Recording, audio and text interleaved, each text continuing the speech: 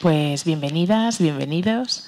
Eh, antes de empezar a hablar y a charlar con Esmeralda y Elliot, eh, nos gustaría, para despertar un poco este momento, porque lleváis desde las nueve y media de la mañana aquí poniendo toda vuestra atención, escuchando distintas, distintas cosas muy interesantes, pero que requieren poner el cerebro ahí en ese modo. Entonces queríamos, como vamos a hablar ahora de danza, queríamos empezar por lo menos viendo bailar, ya que quizás la sala no, no, es la mejor para bailar, pero igual nuestras neuronas espejo van a bailar dentro de nosotros. Así que, Martín, cuando quieras.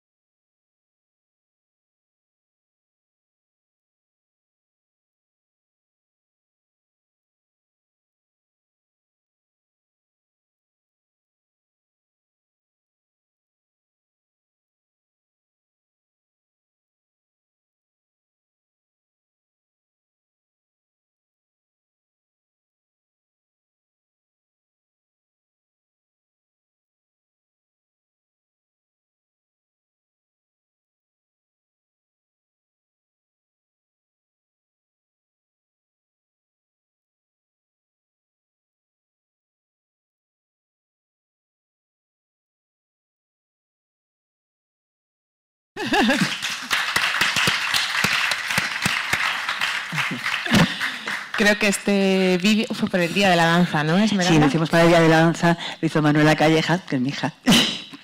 Y es con todos los alumnos que tenemos en el Centro de Creación de Artes Escénicas y Artes Plásticas. De Danza Móvil. Pues nos contarás después más sobre el proyecto. Claro que sí. Eh, pero ahora yo lo que quería es que tanto Esmeralda, bueno, Esmeralda que nos cuenten un poco de su vida. Yo voy a decir simplemente que Esmeralda Valderrama, para aquellos que, y aquellas que no la conocéis, es la directora y fundadora del proyecto Danza Móvil, que bueno, son muchas cosas que ella nos contará desde, se creó en 1995. Sí. Casi 1996. Sí, eh, pues 30 hace, años. Pues, pues, pues 30 años. Que se dice pronto. Casi 30 años.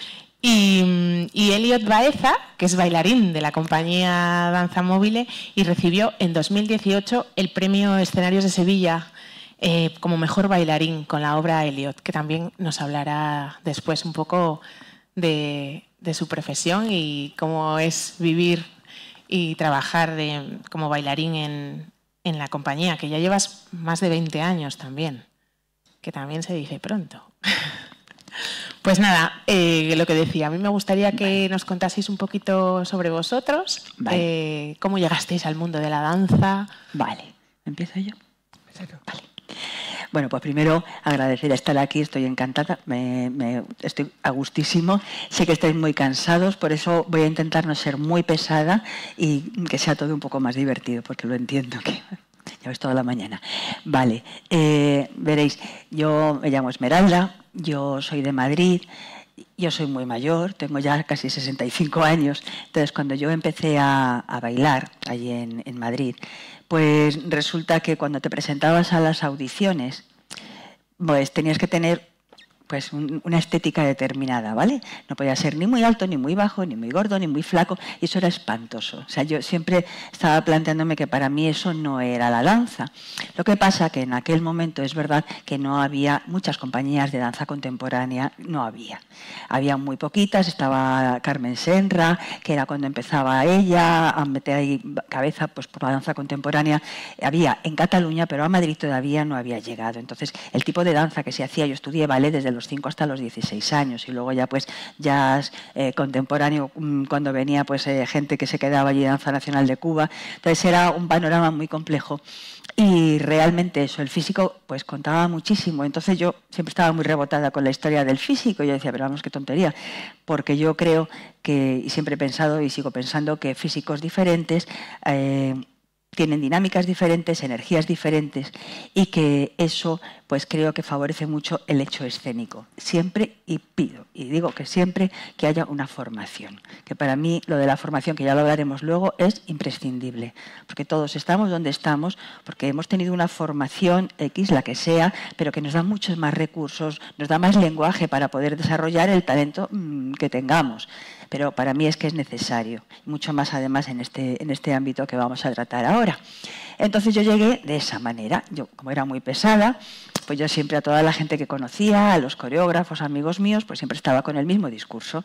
Y un día un coreógrafo, Skip Andersen, amigo muy amigo mío, me dice, mira, yo creo que hay un sitio en Madrid que es donde que tú vas a encontrar lo que tú, lo que tú buscas. Total, que era la Fundación Psicovale Maite León, que trabajaba con personas con discapacidad intelectual.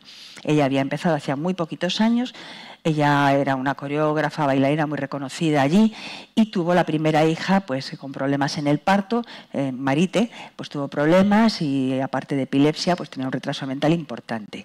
Y ella vio, como no podía dejar a la niña en ningún sitio, pues se la llevaba con ella a sus clases y vio que aquello era bueno. Y empezó a formar un grupo pequeño con las amigas de su hija y los amigos de su hija. Vio que aquello funcionaba y montó, y también le costó la propia vida, lo del el psicobalé de Maite León. Llego allí, encuentro aquello y me apasiona. Me dije, pues claro que sí, es que esto es lo que yo andaba buscando. Y, bueno, pues empecé allí, me quedé allí. Yo seguía bailando con otros coreógrafos y tal, pero empecé a trabajar allí, a trabajar allí y, y encontré pues lo que, lo que iba a ser el, el futuro mío y el camino de mi vida.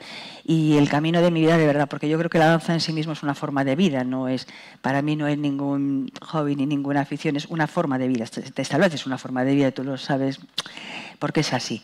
Y encima, unido a esto, pues eso ha sido mi forma de vida desde hace, pues fíjate, pues treinta y tantos años yo en esta historia. Posteriormente pasé a eh, Andalucía, a Sevilla, porque, bueno, esto es una historia personal, el padre de mis hijas, que es músico, es de allí, y entonces fuimos para allá, y allí fue cuando montamos Danza Móvil junto a Fernando Coronado, que, es psicólogo, pero que lo que menos hace es de psicólogo, sinceramente, lo que hace lleva toda la gestión del centro, que es muchísimo y es un gran gestor. Y eso es lo que tenemos allí. Y ahí he llegado yo y bueno, pues ahí estoy. Y, y ya dentro de poco me jubilaré. que ya me toca. Bueno, pero tiene pinta de que vas a seguir involucrada. Bueno, me encanta. Sí, la verdad que sí. Es que hay mucho camino todavía que hacer, mucho, mucho, mucho camino en esta historia. Sí. Y Elliot, ¿cómo llegaste tú al mundo de la danza? Yo muy bien, pero para mí ha sido, pues sabes que con Menalda y eso, yo empecé en 2004. 2004. empecé, yo estaba en mi, casa, me la, la tele, y digo, bueno, me gusta. Voy a decir a, mi madre y digo, me gusta verla. Entonces mi, mi puter y, y entonces no sé, a, a Miranda Rama y a Fernando. O sea, que salieron en la tele, el proyecto de danza móvil salió en la tele allí. Porque tú, ¿dónde vivías? Ah. Yo vivo en Cartimanco, Los Arroyos. ¿Que está? ¿A cuánto, a qué distancia de Sevilla? Como una hora, ¿no? Una hora. O sea, que tenías que... que... Voy todos los días. Todos la, los días. La, cola. Todos los días va y viene, sí, sí. ¿Y tus padres, cuando les dijiste que querías bailar, qué te dijeron? Mi familia me gusta mucho eh, bailar, porque mi madre me gusta mucho que yo bailo y, y seguir, y seguir adelante. Y ya han pasado Ya 20 sigo años. baile. En mi, mi tesis es el baile. A mí me gusta, ¿verdad? ¿En tu familia hay, hay más gente que se dedica Bueno, a la hay danza? mucha gente. mm, Bueno, de parte de mi padre tenía una hermana, tengo a, Esmeralda, eh, mi hermana Santi, ¿vale? Y una, una, mi- una, una sobrina que ella ba- baila. Y una hermana de mi, de mi padre es Magdalena. O sea, que había ya... Ahí, veía- ahí ya una familia de, de, de baile. de Sí, pero esto nos hemos enterado después, ¿eh? Porque, ¿verdad? Esto fue cuando fuimos a Murcia, que era familia que tenía él en Murcia que no conocíamos, y resulta que empieza a salir gente que eran bailarines, que eran bailarines, y, claro. ¿Y recordáis el día en que os conocisteis en la Pues, escuela? Yo no me acuerdo, la verdad. Yo sé que él era... Porque aquí Yo eh, lo hacía medalla de chico. Tenía nueve años, nueve años tenía cuando- empecé la escuela, pues, con ella, vivo con ella porque son, eh, ella es mi segunda madre. Tu segunda Y, madre. Aquí a, a todo el mundo, yo quiero mucho a ella, ella a mí, y a veces ahí ta- estaba ahí, pues bien, con ella bien. Él era muy serio, muy serio, muy serio. Era muy serio, ¿verdad? Y se lo contaba antes a Marta, era increíble, cuando yo tenía eso, nueve años. Pero es que tenía el pelo blanco. De todo el estrés que tenía y de todo la- el agobio que tenía de su colegio y de su historia, tenía el pelo blanco. Ahora ya es por la edad, pero es que se le ve. Te, ya está ahí, y cinco. Sí, sí. Era muy tímido. Bueno, Bueno, a veces. muy chulo. Cuando le decías algo, ¿verdad? Ya, se ponía así. Sí, es que veréis, llevamos juntos mucho tiempo, como hay mucha gente en nuestro centro que lleva mucho tiempo. Entonces eso es maravilla porque ves cómo vas creciendo, o sea, es que tú vas creciendo al mismo tiempo y todos vamos creciendo al mismo tiempo y es maravilloso y si, bueno, invitados estáis todos para ir allí, ellos mismos dicen esto es una familia. Entonces eso está muy bien porque nos permite ser mucho más libres tanto a ellos como a nosotros y a la hora de crear y en el hecho de crear, pues claro, es que hay otra historia, hay otras historias por medio y bueno, eso se ve y se- yo creo que eso se nota. Sí, ¿no? Si hay un ambiente de confianza Totalmente. Y, de cariño, ¿no? Total- Se puede dar Sí, sí. eso.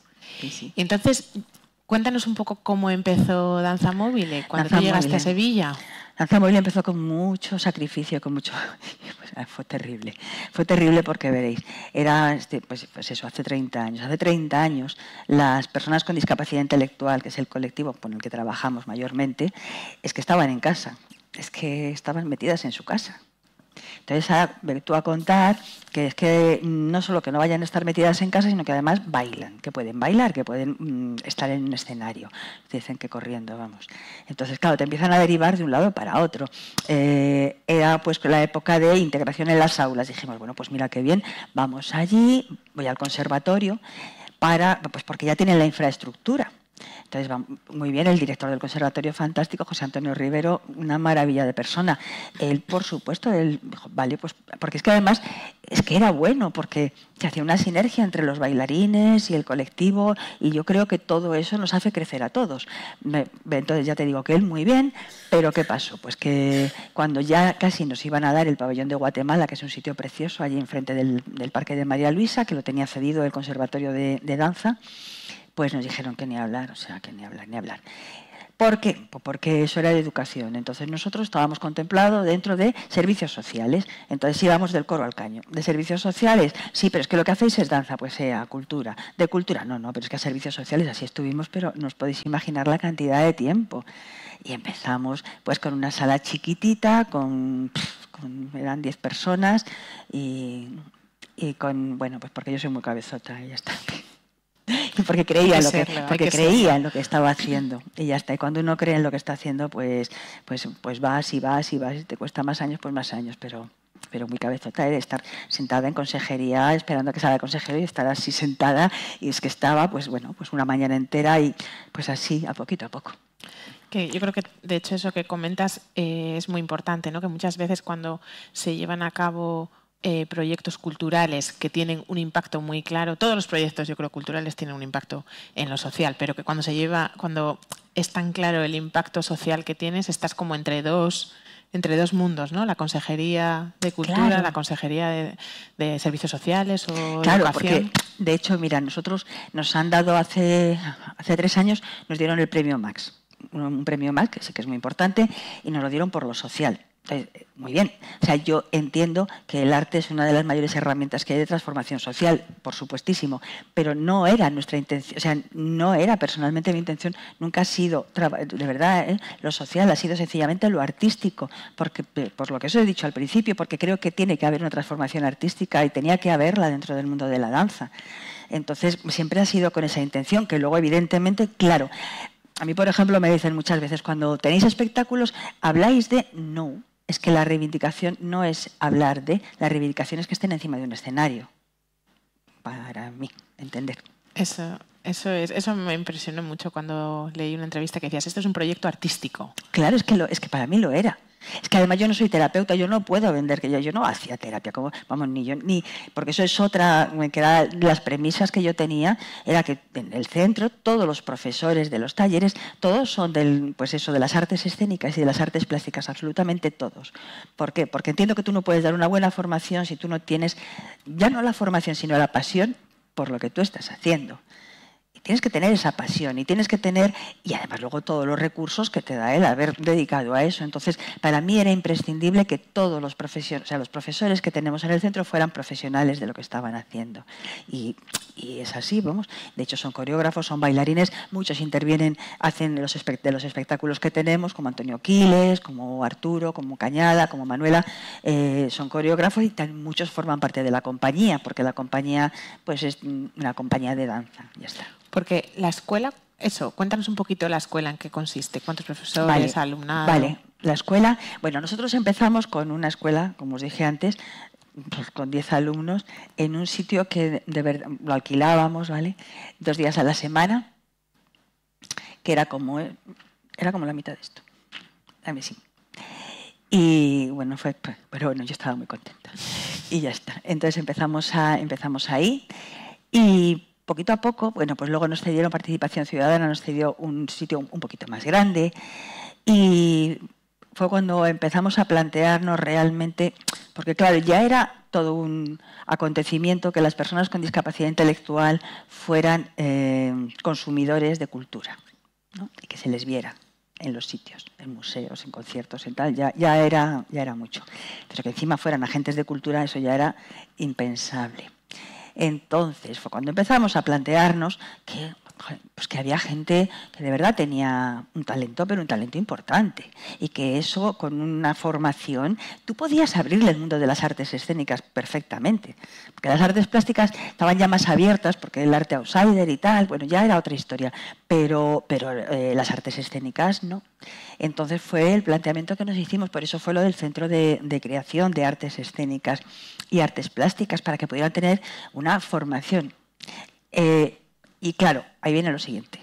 No por tener una discapacidad estás tocado por una mano divina, para nada, ni tienes una sensibilidad especial, ni te pasa nada de nada de nada. Él baila porque tiene talento y porque se lo ha trabajado mucho, ¿vale? Yo tengo un amigo que va en silla de ruedas, Gonzalo, que es cojo, y me dice, mira, yo soy un cojo normalito, normalito, verás, no toco el piano, ni toco el violín, ni, ni me pasa. Tengo todo el derecho del mundo, ¿entendéis? Entonces, pero sí todos tenemos derecho, todos tenemos derecho a tener la formación que nos dé la gana. Ayer se lo contaba ella, yo canto muy mal, pero me encanta tomar clases de canto. Pues yo tengo el derecho de tomar esas clases de canto. Ahora bien, de ahí a que yo me ponga en un escenario y que me ponga a dar ustedes, todos tenemos derecho a tener una formación. De las 30 personas que están, solamente 6 están encima de un escenario. Luego hay un artista plástico muy bueno y luego hay eh, pues otros que son buenos en teatro. Ya está. Y luego hay muchos que es un resto y que es tremendamente importante, que su desarrollo personal viene a través del arte. Y que eso no es poco. O sea, es, es que eso no es poco. Eso es una maravilla, el que tú te puedas desarrollar y que tú des sentido a tu vida a través del arte. Entonces, veréis que no tienes que estar en un escenario, que estás en un escenario, pues el que pueda estar y el que no es que se está desarrollando como persona, que es que, vamos, que es básico, fundamental y primordial porque te estás desarrollando una creatividad que por desgracia parece que en muchos colegios te la empiezan pam, pam, pam, pam, a cortar por todos los lados. Entonces, bueno, pues... Mm. Y yo creo que un poco también con eso que dices, Esmeralda, es cuando ya solo el término, ¿no? Que hablamos de danza inclusiva, danza integrada o... yo es que estoy un poco cansada, ya se lo decía que era ella, pero de danza inclusiva, veréis. Eh, uno, porque ¿qué incluye quién incluye a quién? O sea, mm, perdona, nosotros, por ejemplo, en la compañía tenemos bailarines que eh, tienen discapacidad y bailarines que no tienen discapacidad. Y, hablo de discapacidad, ¿vale? No de diversidad, discapacidad. Eh, ¿Quién incluye a quién? ¿Los bailarines con discapacidad incluyen a los que no la tienen o los que la tienen? Vamos a ver, es que es una tontería. Lo que pasa que sí que, yo le decía ayer a Marta, eh, tenemos que dejar de hablar de danza inclusiva y de dejar de integrar. Nadie incluye a nadie, nadie integra a nadie. Es danza. Lo que, eh, lo que se ve aquí es danza. ¿Vale? Ya está, ya está. Pero para eso, los que trabajamos con esto tenemos que ser muy exigentes. Y tenemos que mostrar a profesionales. Cuando tú muestres a un profesional, ya dejarás de hablar de danza inclusiva, hablarás de danza. Porque parece que lo de danza inclusiva es que, mira, mira, es que danza, pero como es inclusiva, sed más benevolentes en vuestra visión o en vuestra hora de juzgar aquello. Bueno, a mí a veces me da esa sensación, ¿sabéis? Entonces eso es lo que... Sí, yo creo que No sé qué pensáis. rebota, que yo solo quiero hablar de danza y ya está. Y ya está. No sé.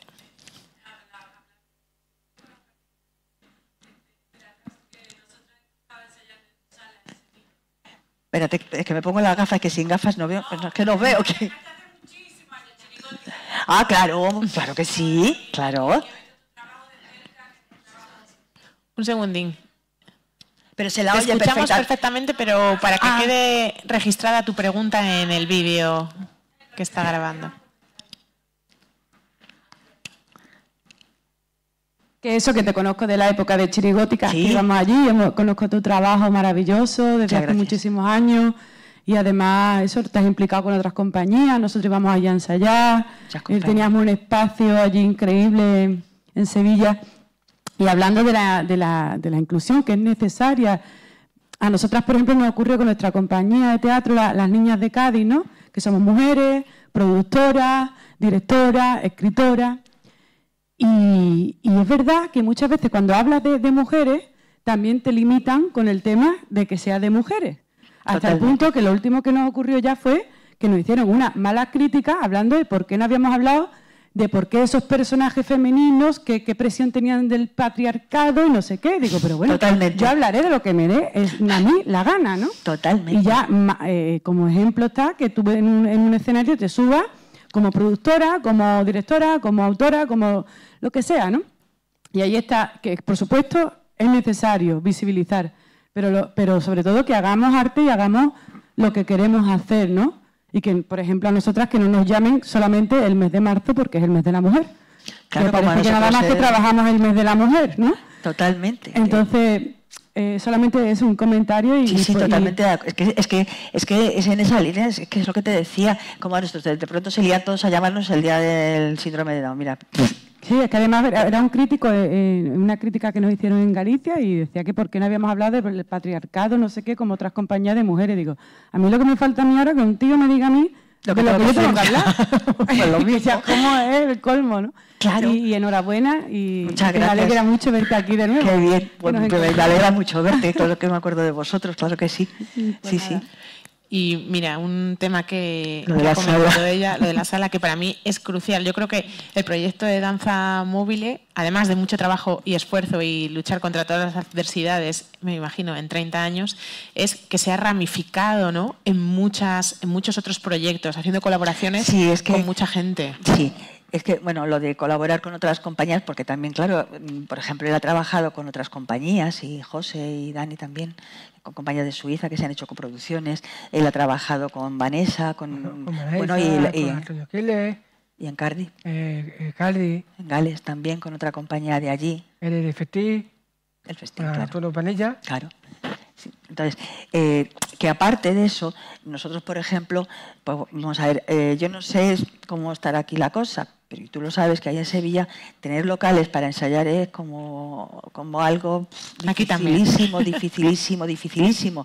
Ahora están los del Estadio Olímpico, pero resulta que cuando mm, ya quedan un día para poder ensayar las compañías, ahora resulta que no, que está la compañía de allí, eh, que no se puede ensayar. Y ahora en verano, eh, me llamó el otro día Raquel Madrid porque resulta que en verano por la tarde esas salas están cerradas, porque no hay personal por la tarde. Entonces, Claro, entonces, pues, evidentemente, si nosotros tenemos unos, unos locales, pues, pues, pues, claro que lo dejamos a las compañías para que ensayen.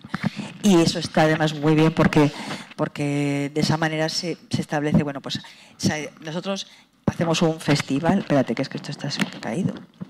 A ver si. Espérate. Espera, espera. Así. Es que se me ha ido. Se te ha caído de aquí. Eh. Ahora. Vale, espérate. Ahí vale. ¿Me oís, no? Vale. Hacemos un festival que empezamos con Antonio Álamo.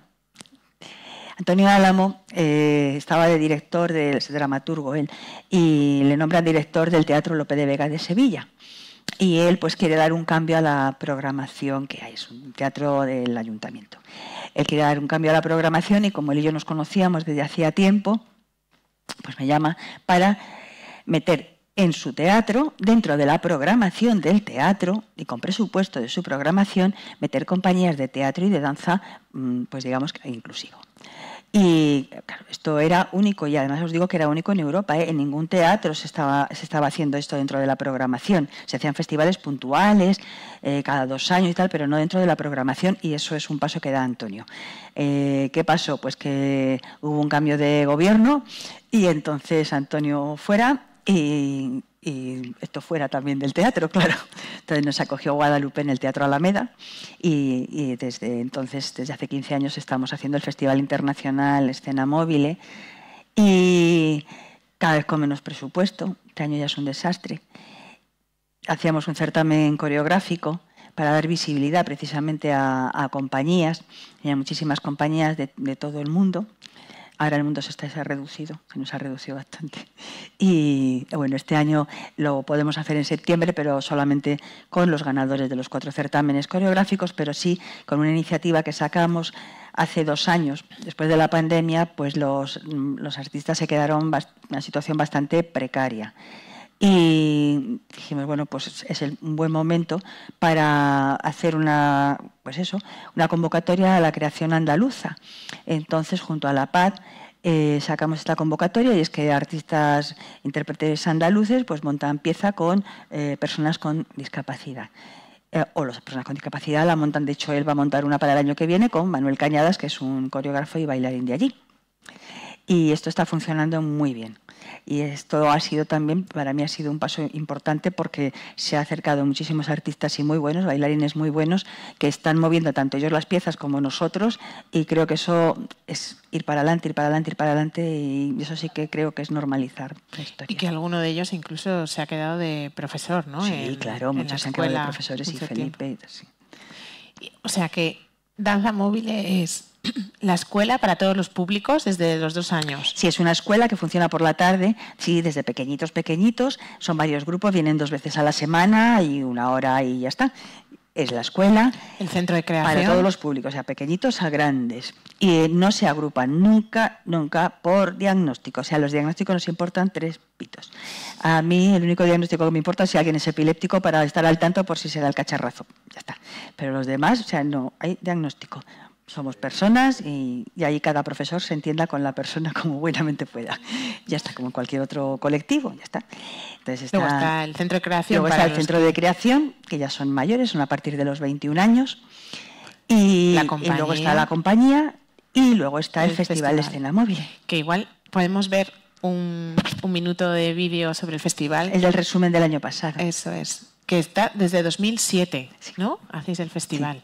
este año va a ser la decimosexta edición.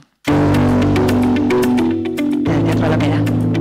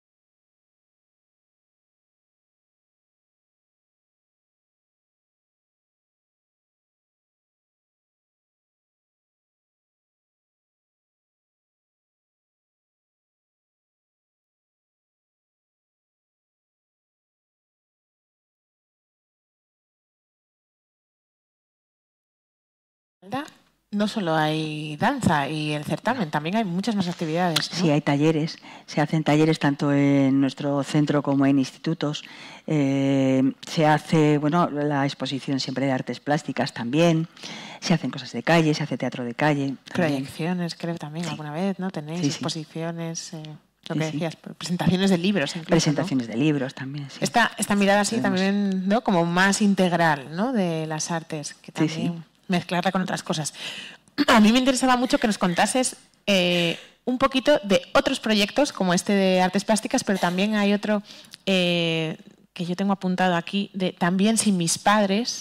Ah, bueno. Y, bueno, que nos contases un poco, es como centro ocupacional también. También sin mis padres. Bueno, ah, bueno, es que esa es otra. Es que el centro de creación como teníamos tantos profesores, eso era imposible mantenerlo de manera privada, bueno, es que no había quien pagara eso.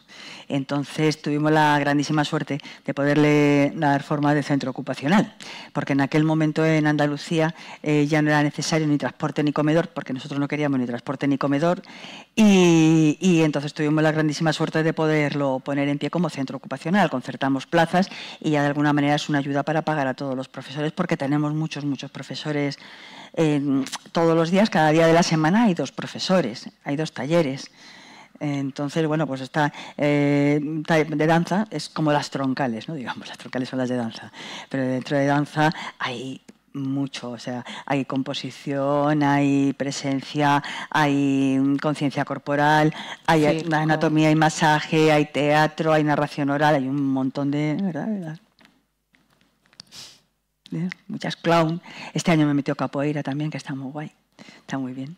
Y, bueno, el proyecto este también sin mis padres, que yo siempre digo que bien sin mis padres, porque, porque esta gente muy mayor, soy ya muy mayores. Y entonces... Mm, tienen que vivir como cualquiera, cualquiera de nosotros, pues hay un momento que tenemos que salir de casa, porque si no es que no crecemos y mucho más, ya si hablas de discapacidad no te quiero contar.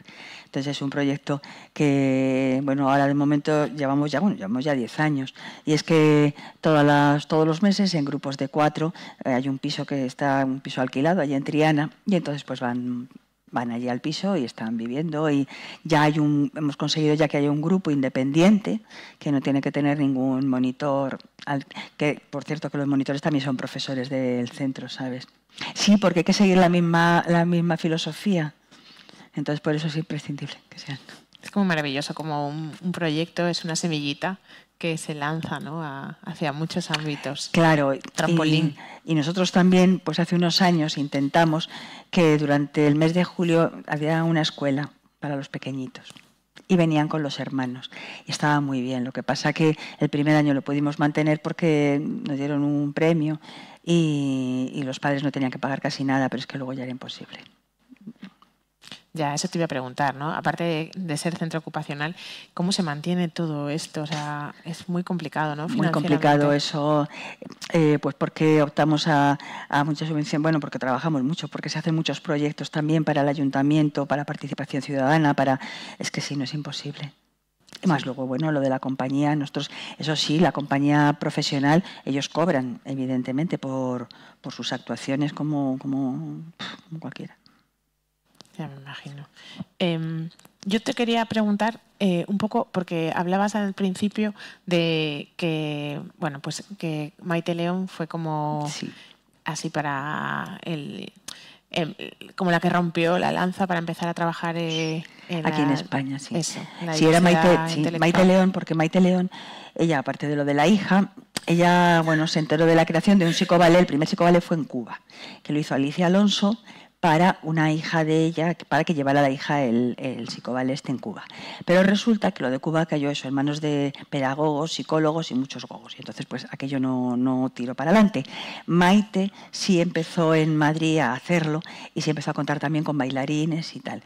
Eh, ¿Qué pasa? Pues que claro, la hija de ella tenía discapacidad intelectual, el psicoballet de Cuba también era con discapacidad intelectual. Entonces, por eso, aquí en, España es donde eh, se ha continuado como esa corriente de danza con personas con discapacidad intelectual. Cosa que en el resto de Europa, no, en el resto de Europa, digamos que es, eh, hablo de danza, ¿eh? no de teatro, hablo de danza, beben más de eh, Reino Unido, porque Reino Unido empieza con Candoko, Adam Benjamin, que es un gran coreógrafo, que es el fundador de Candoco. Ellos trabajan con eh, diversidad funcional física. Y entonces en el resto de Europa se trabaja mucho más con personas mm, con discapacidad física, pero es por eso, porque vienen de esa corriente. Aquí tenía que haber estado el Jordi Cortés, que el Jordi era un es un gran bailarín y performer, que él trabajó muchísimo tiempo con DV8 en Reino Unido y es muy amigo de Adam Benjamin. Entonces por eso, cuando el Jordi vuelve otra vez aquí a Cataluña, viene con el Adam y entonces empiezan con liar la troca y por eso trabajan también tanto con personas con eh, diversidad funcional física cuando en el resto pues está Flick Flock, está, bueno, por supuesto el Psicoballet, está Momentsar, está toda la gente que trabajamos con, personas con discapacidad intelectual, son dos, como dos corrientes ahí, es muy curioso. Sí, es, es, como más llamativo, ¿no? Que allí es eh, más un poco eso, con la diversidad funcional y aquí nos hemos quedado eh, más en, Este, en este otro ámbito. Que, de hecho por eso hay pocas compañías. Ah, bueno, en Alemania está los de Tanzar Bremen, que ellos sí tienen una persona, una persona con discapacidad intelectual. Y en Cardiff también, en Gales, en la compañía de Ben. Pero es algo muy puntual y no es. Los de Tanzar Bremen sí es danza, los otros no es danza, es teatro. Eso. Sí. Elliot, cuéntanos un poco ¿Qué sientes tú cuando bailas? ¿Por qué has elegido esta profesión? Eh, para mí, el... bueno, tú sabes que la escuela hacemos el, eh, estamos con todos, estamos libres y, sentir la música y sentir como aire y está libre. Libertad. Porque la escuela, eh, todos visores y todos alumnos puede escuchar la música cuando ya empieza a, a, bailar. Y el baile puede escuchar, puede hacer cosas, hacer un juego con ellos y puede hacerlo con, ellos. libertad. Claro, la libertad y la interacción de poder ser tú, ¿no? Que antes nos decías, de poder jugar, de poder experimentar. ¿Y cómo es tu día? Tú cuando entras en, en la escuela de danza móvil, un día normal cuando llegas por la mañana? Yo me mato a las 8, el segundo, yo a las 9 horas de tu y me la 10 para la escuela y eh, pues llevarlo allí en y yo a las 2 huevos para la de mi casa. O sea que de 10 a 2 intensivo. Estoy todos los días a irme todos los días a Tubú, irme a Tubú a, a, a Sevilla a tu y irme para mi pueblo. Y luego los ensayos, porque ensayo un pues montón. si, hay, si hay ensayos, me quedaré allí a comer, yo pues hay ensayos, pues así en la, la tonda eh, estamos ahí. ¿Qué pasas más tiempo en la escuela, no? Y tanto. Que en, que en tu casa, ¿no? Y tanto. en la escuela es en, mi casa. Eh, que la, la, escuela está abierta para, para que venga a la escuela, para que sigue la escuela y, tú sabes que la escuela que, hay todo visores, eh, como, me, como Esmeralda está mañana, y ahora eh, la escuela hacemos todo, hacemos en pintura, en danza, eh, en teatro, clown, todo eso puedes hacerlo. Claro. Pues esto, yo te quería hacer una última pregunta a ti, Esmeralda, y después tenemos una sorpresa porque Elliot eh, quería bueno, pues mostrarnos un poco, hacer una pequeña improvisación aquí, eh, que de hecho después igual de Elliot podemos todos también movernos un poquito, ya antes de que os vayáis a comer, ¿ya? Para que se active un poco el cuerpo. Pero la última pregunta que quería hacerte, eh, y después si queréis hacer también alguna pregunta a vosotros, era ¿Qué, anhelo, qué deseo tendrías para, para este sector de trabajo eh, ahora mismo en España? Hombre, ¿qué tendría mm, que cambiar? O... es que tiene que cambiar la visión, tiene que, veréis, yo a veces soy muy bruta, pero es que a veces me parece que, que cuando trabajamos con, Es que no es mala voluntad. es verdad que ahora está de moda todo, todo esto, pero que también es verdad que cuando uno, uno se emociona mucho con cualquier logro pequeñito, cuando estás trabajando con personas con, discapacidad, te emociona mucho el, pequeño logro y ya piensas que ya es la leche, que aquello es impresionante y que tal. Entonces, quieres que lo vean y lo vendes de esa manera. No. O sea, yo creo que la, la normalización no va por ese camino. No va por ese camino porque flaco favor hacemos eh, si no cambiamos la visión de las personas con discapacidad. ¿vale? Que, muestren, que muestren lo mejor, que se muestre la excelencia, que no se muestre y que no se ponga nunca, además, en evidencia la discapacidad. Porque evidentemente si yo me pongo a cantar, vuelvo a lo de cantar, que yo canto muy mal, si me pongo a cantar con un gran cantante, eh, veréis, mm, perdona, pero estoy haciendo el ridículo y además me está poniendo en evidencia el que yo no canto. Entonces, eso lo tenemos que tener muy en cuenta. Yo lo que desearía es eso, que normalizar no es... Mm, es que estoy cansada de gente en el escenario y gente ahí en el público emocionada, llorando y diciendo qué bonito, qué madre, hoy qué simpático, hoy qué cariño. es que de verdad el hoy que eh, no, o sea, no. Y además que nos atrevemos también a criticar, porque luego esa es otra, que no nos atrevemos a criticar. Vemos un espectáculo donde hay personas con discapacidad y no somos capaces de decir, pues mira, no me ha gustado nada, mira, pues vaya, eh, pues, pues que nos atrevamos. Es que tenemos que ir para allá, tenemos que ir en ese camino, pero no solo en la danza, en la vida, en la vida, o sea, tenemos que ir ahí que la normalización es esa que ha pasado en los colegios. Nosotros vamos mucho a colegios y en los colegios ha pasado de estar ahí mm, en un rincón a ser la mascota de la clase. Mm, pues es que tan malo es una cosa como la otra.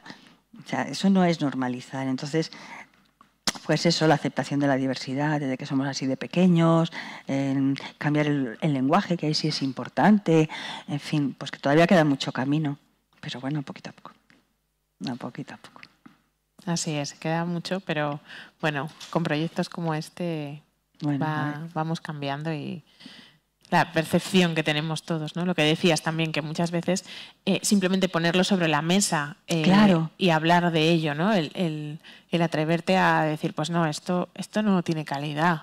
Eh, claro. O está poniendo en evidencia justo sale un bailarín moviéndose al lado de alguien de una silla de ruedas que no puede moverse y es como, esto realmente no tiene un trabajo no, es que no puede ser, tú no, o sea, que no puede ser. No puedes sacar una silla de ruedas que vaya para adelante y para atrás y tú ahí luciéndote y haciendo. Es que además no tiene sentido. O sea, es que además artísticamente eso no tiene, no, es que no tiene por dónde pillarlo, no tiene mm. sentido.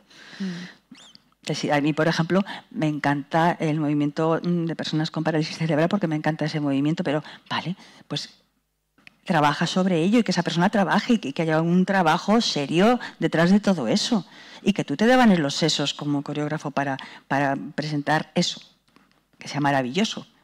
A lo mejor no es tu lenguaje, ¿no? no sé qué te gusta a ti, pero que sea profesional y que sea serio. O sea, no, no utilizar a las personas para ponerlas aquí solamente como una pieza de, atrezo, yo qué sé. Mm. que sé. Que son muchas cosas que hay que plantearse. Y sobre todo mucho respeto, mucho respeto, mucho respeto. Mucho respeto. Mm. Y a la que ya nos aburre más. No sé si queréis hacer alguna pregunta ahora y si no, después de ver a Elliot. Que yo no sé si el Elliot está dispuesto a bailar. Aquí, aquí tenemos para, enseñarlo a ellos. Enseñar aquí. que te vean. Que, te vean. Yo pienso a. Que te vean. Vale, pues ya está. Que va a ser una improvisación. No sé dónde está el micrófono. Ah,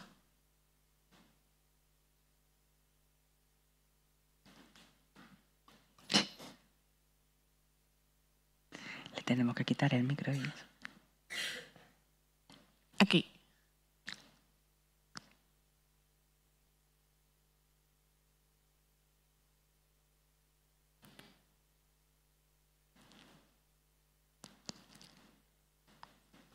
no. Déjalo pulsado quizás un poquito.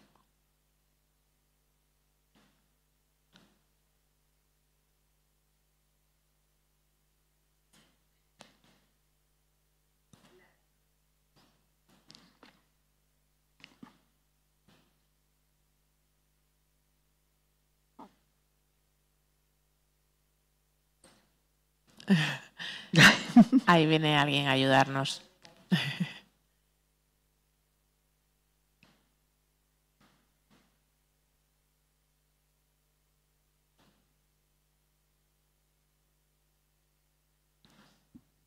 Gracias. Eh, Bueno, Esmeralda y Elliot, muchísimas gracias por todo lo que nos habéis contado. Es un gusto escucharos. Y yo tenía una, una pregunta eh, pequeña y era, eh, nos habéis contado alguna cosa, pero me gustaría saber cuáles han sido los principales apoyos que, que habéis tenido para sacar adelante este proyecto. Has hablado de muchas dificultades, pero ¿de, ¿de, dónde han venido los apoyos? El mundo asociativo que trabaja con personas con discapacidad, por ejemplo, ha sido un apoyo, ha sido una barrera, porque esto suele ser eh, complejo, ¿no? Muy complejo. Eh, mira, el primer apoyo, porque, bueno, pues puedo venir del, ayuntamiento cuando nos cede una sala compartida con muchas más asociaciones. Eso puede ser, puedo entenderlo como el primer apoyo porque no teníamos local y tener un espacio eh, físico es que si no no puedes hacer nada. Eso era importantísimo. después ganamos un premio del ayuntamiento donde sacamos, bueno, luego fue los locales donde estamos ahora los que tú conoces, pues ahora tenemos otra sala muy grande, muy bonita. Entonces, eso era un, debajo del puente, cuando los puentes, cuando la expo del 92, había puentes, hicieron puentes y, y el agujero debajo del puente, veréis. Y entonces, Gerencia de Urbanismo lo que hizo fue tapiar eso hizo un espacio grandote y luego hizo así ras, ras, ras, pues varios locales. Y salió a, concurso entre ONGs y asociaciones sin ánimo de lucro. Entonces ahí estamos nosotros. Está Sevilla Coge, está Médicos del Mundo y Médicos Sin Frontera, está Padres de Síndrome de Down y nosotros, bueno, y Tandem. Eh, y nos metieron ahí. Pero claro, ahora consigue el dinero para habilitar eso, que es que no había nada, ni agua, ni es que no había nada. Era un agujero. Entonces, bueno, eso nos costó muchísimo y eso fue gracias a un, a un premio que ganamos del ayuntamiento por por todo el proyecto que teníamos de centro eh, de proyección de laboral y tal, tal, tal, tal, y nos dieron ese premio y ahí pudimos empezar. Y luego ya era pues el... Eh, pues eh, hacemos el primer festival, es que realmente el primer, primer festival que nosotros hicimos fue en el año 2000. Lo que pasa es que lo hicimos Fernando y yo por nuestra cuenta. Eh, la Consejería de, Asuntos Sociales sí es verdad que nos echó un cable, donde nos iba a dar un dinero, nos dio otro y al final mm, pues mm, quedamos con una póliza personal de, de 5 millones que fíjate que yo me moría del susto pues porque lo tuvimos que hacer nosotros, Fernando y yo, por nuestra cuenta, y ya dijimos, nunca más festival hasta que llegó Antonio Álamo. Entonces costó mucho. Sí es verdad que siempre ha habido, al principio, pequeños apoyos que para nosotros eran muy grandes, y luego sí fue, eh, fue muy importante eh, lo de la consejería, lo de la Junta, el hacerlo centro ocupacional, porque ahí ya descansamos, sobre todo a la hora de poder pagar a los profesionales eso sí fue. Y luego la escuela, la escuela que funciona por la tarde, que eh, pues ahí funciona con una cuota mensual mm, como cualquier academia, pues una cuota mensual y ya está. Y luego ya pues los 400.000 proyectos que presentamos, mm, ya te digo, del ayuntamiento y tal, básicamente, por ejemplo, el festival, el festival básicamente es el ICAS y el INAEM del INAEM también. La compañía, pues la compañía también optamos a ayuda en gira, que este año no la hemos tenido, y cuando hacemos nueva producción, pues ayuda a la, producción. El INAEM sí nos suele dar casi siempre, cada vez, bueno, van reduciendo, pero sí nos da, ¿vale? En el Festival Caixa eh, nos daba 6.000 euros, ya el año pasado eran 4.000 que básicamente es para la parte de artes plásticas y ya está, pues así vamos a poquito a poco. Es una ingeniería una ingeniería económica para poder sostener totalmente proyectos así grandes. Totalmente. Es muy difícil. Pues no sé si queréis preguntar alguna cosa más. Eh, si no, vamos a, pasar al momento de Elliot. ¿Estás preparado? Sí. Pues venga. Vamos a quitar del medio nosotras. La botella. Cógete la botella, la tienes.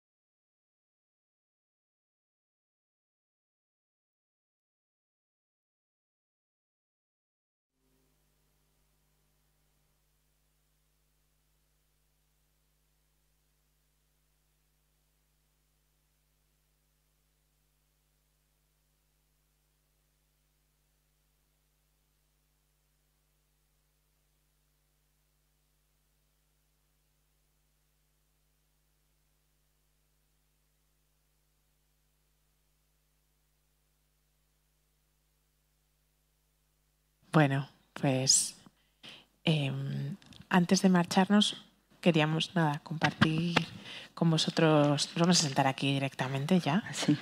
A ver si yo te pongo esto.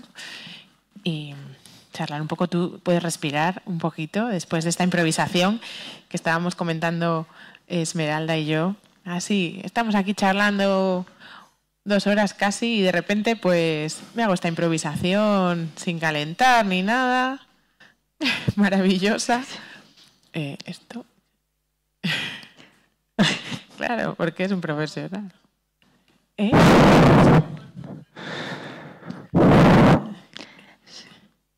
Sí, sí. Sí. Y la disposición. Y la... Hmm. Mm. No te, no te, si quieres. Exacto, porque nos acabas de hacer un regalo precioso. Muchas gracias. Entonces, gracias, Elio. Qué bonito lo que te ha dicho. Muchas gracias. Sí, es un regalo. Y trabajar en esta historia es un regalo. Os lo digo de verdad, ¿eh? Sí, sí, pero no por pobrecito, sino porque es un regalo artísticamente, es que es un, es un regalo de verdad. Hay una generosidad absoluta, ¿eh? Que eso es impresionante. Yo trabajo en la inclusión con mujeres también y entonces eh, perdón, eh, que trabajo también la inclusión de lo que hablábamos antes, esa inclusión entre comillas, con grupos de mujeres también, ¿no? Y entonces, bueno, pues, pues, pues claro, ni pobrecitas, ni pobrecitos, ni nada. Aquí cogemos todos. Y somos iguales, somos diversos. Totalmente, totalmente, sí, sí, esa es la historia, esa es la historia, esa es la historia. Pues qué bien, pues gracias muchas gracias. Sí. Gracias a ti, eh, Miralda. Sí. Estoy aquí poco por, por ella. Ahora voy yo y estoy diciendo que no me Bueno, pues. Sí, pues nada. Eh, si queréis preguntar más cosas. Si tenéis alguna pregunta más y si no, nos podemos también quedar, quedar aquí. Habíamos mm. eh, antes eh, como soñado en haceros moveros hacer mover, al público también un poquito, pero igual podemos ir dejar, dejaros ir a comer. que tenéis además también por la, por la tarde actividades y nada, que esperamos que el resto de la semana sea también tan provechosa como ha sido hasta ahora y que ha sido un placer teneros a vosotros dos aquí desde Sevilla solo para pasar este ratito con nosotros, veniros desde allí. Muchas gracias. Muchas gracias. Muchas gracias. Muchas gracias.